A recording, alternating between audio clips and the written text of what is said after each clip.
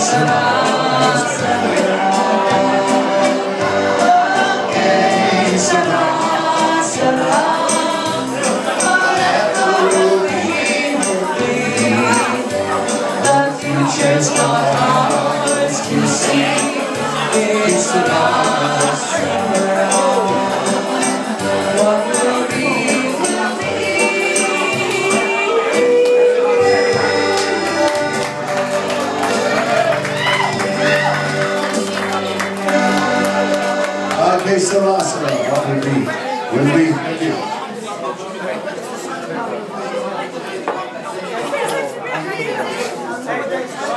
Paul.